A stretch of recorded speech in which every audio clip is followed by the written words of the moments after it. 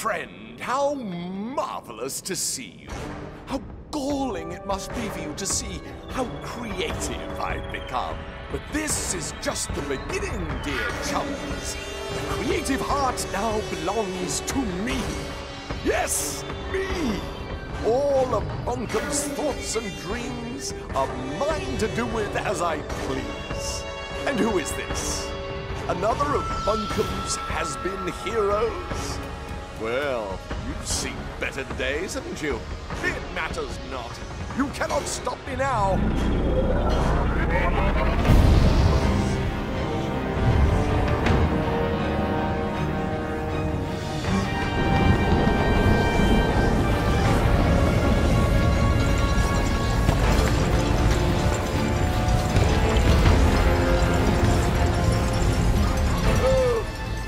Have to excuse me. I have affairs of the heart to attend to.